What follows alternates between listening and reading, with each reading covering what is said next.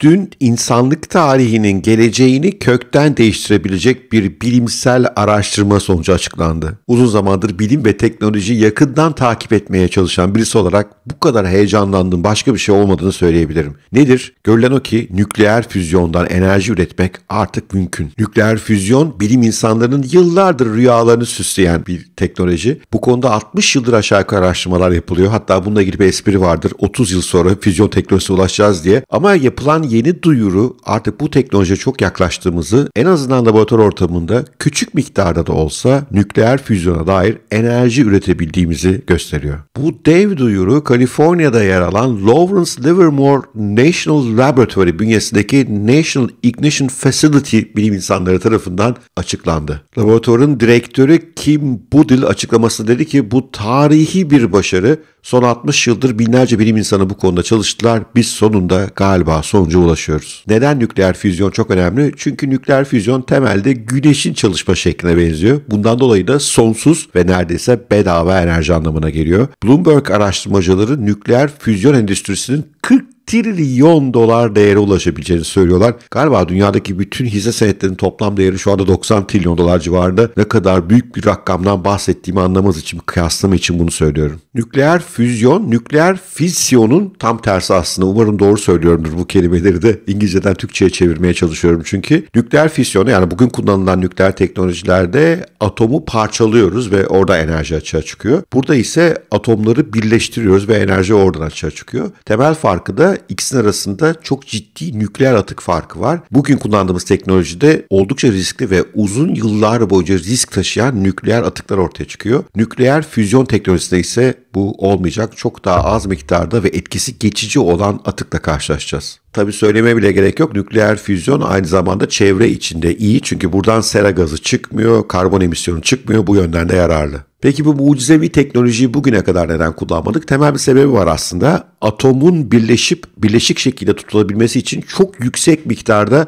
ısı ve basınç gerekiyor. Bu kadar yüksek ısı ve basıncı yaratabilmek için yine çok enerji tüketmeniz gerekiyor. Bu yüzden Füzyon reaktörleri aslında epey enerji tüketen reaktörler. Şimdiye kadar tüketilen enerjiden daha fazlasını elde edemiyorduk. İlk defa laboratuvar diyor ki bunu başardık. Bu atomları bir arada tutmak için tükettiğimizden daha fazla enerjiyi reaktörden almayı başardık. Bu araştırma için bugüne kadar 3.5 milyar dolar civarında para harcanmış. Nasıl bir işleyişi var? Anlayabildiğim kadarıyla burada bir çekirdek var. O çekirdeğin içerisine hidrojen dolduruyorlar. Daha sonra da 192 tane lazeri bu çekirdeğin üzerine odaklıyorlar. Bu lazerler odaklandıkları kapsülün üzerinde 100 milyon derecelik bir ısı yaratıyorlar. Bu güneşin çekirdeğindeki ısıdan daha fazla ve bu aynı zamanda bir yandan da büyük bir basınç yaratıyor. Dünyanın atmosferindeki basıncın 100 milyar katı daha fazla. Bunun sonucunda bu çekirdek kendi içinde patlıyor ve atomlar birleşiyorlar ve bu da enerjiyi salıyor. Ama dediğim gibi bu çok enerji tüketen bir proses. Mühim olan bu tükettiğimizden daha fazlasını buradan alabiliyor muyuz? Çalışmanın sonuçlarını açıklayan Dr. Mervyn Adams diyor ki bu çalışma sırasında 2.05 megajoule enerji harcadık. Buna karşın 3.15 megajoule enerji elde ettik. Şimdi böyle megajül falan deyince bunu büyük bir enerji miktarı olarak düşünmeyin. Aşağı yukarı 15-20 su ısıtıcısının enerjisini verecek kadar bir enerji bu. Yani o yönden çok küçük bir adım tabii ve elbette burada elde edilen başarının tekrarlanması gerekiyor. Bir riski olmadan, patlamadan, çatlamadan defalarca tekrarlanması lazım.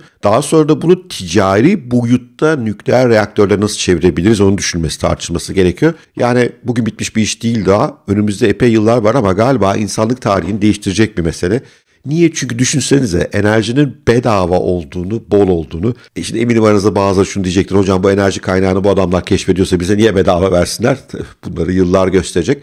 Ama her halükarda karbon emisyonlarından tamamen kurtulduğumuz, güneşten veya rüzgardan enerji elde etmek gibi zahmetli yollara ihtiyaç duymayan, temelde evrenimizin en azından güneş sistemimizin en azından içinde bulunduğumuz dünyanın en büyük enerji kaynağı olan güneşle aynı şekilde enerji üreten bir kaynağa kavuşmak tabii süper heyecan verici. Bu pazar günü belki bundan ilgili daha derin bir video yaparım. Biraz daha derin incelerim. Şu anda haberi taze taze paylaşmak istedim sizlerle. Her şeyi değiştirir bu. Bütün dünyanın elektrifikasyon sürecini süper hızlandırır. Ve yapılan araştırmalar çok da büyük değil. Yani Türkiye'de paraları nelere harcıyoruz bir düşünün. İşte 3,5 milyar dolarlık harcamayla buraya ulaşmışlar. Eğer burada ümit görürse Amerika şimdi buraya çok daha büyük kaynak yağdıracaktır. Bu büyük yağın kaynaklarının sonucunda bu süreç daha da hızlanabilir. ne diyeyim heyecan verici uzun zaman sonra insanlık adına iyi bir haber almış olduk bütün bu karmaşa içerisinde. Çünkü eğer enerjiyi bedava, bol, her yerde erişilebilir hale getirirsek bütün dünyanın gidişatı değişebilir. Çünkü bütün mücadeleyi enerji üzerine veriyoruz. Enerjisi bol olan kazanıyor, enerjisi az olan kaybediyor. Bütün savaşlar bunu bu yönden çok heyecan verici. Umarım ilginizi çekmiştir. İlginizi çekmişse bir like süper olur. Yorumlarınızı da merak ediyorum. Mümkün olduğunca hepsine cevap vermeye çalışıyorum. Bir de küçük bir duyuru. Lütfen beni Twitter'dan da takip edin. Her şeyin videosunu yapmak mümkün değil. Günlük gelişmeleri Twitter'dan paylaşıyorum. Orada da beni izlemenizi rica ediyorum. Sevgiyle kalın, hoşça kalın. Görüşmek üzere.